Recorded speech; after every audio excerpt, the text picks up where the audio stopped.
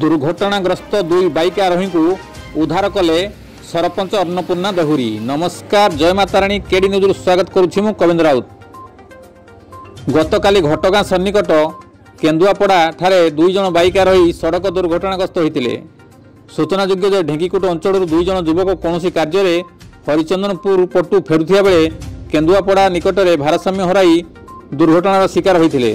ସେହି ସମୟରେ ମୁକୁନ୍ଦପୁର ପାଟଣା ସରପଞ୍ଚ ଅନ୍ନପୂର୍ଣ୍ଣା ଦେହୁରୀ ପଞ୍ଚାୟତର ଅଞ୍ଚଳ ପରିଦର୍ଶନ ସାରି ଫେରିବା ବେଳକୁ ଦୁର୍ଘଟଣାଗ୍ରସ୍ତ ଦୁଇ ଯୁବକଙ୍କୁ ଉଦ୍ଧାର କରି ଘଟଗାଁ ସ୍ୱାସ୍ଥ୍ୟ କେନ୍ଦ୍ରରେ ଚିକିତ୍ସା ପାଇଁ ଭର୍ତ୍ତି କରିଥିଲେ।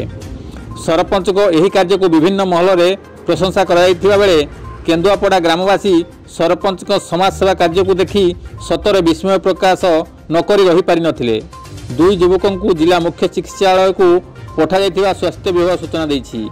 ଘଟଗାଁରୁ ମହେନ୍ଦ୍ର ପାତ୍ରଙ୍କ ରିପୋର୍ଟ କେଡି ନ୍ୟୁଜ୍ ଓଡ଼ିଆ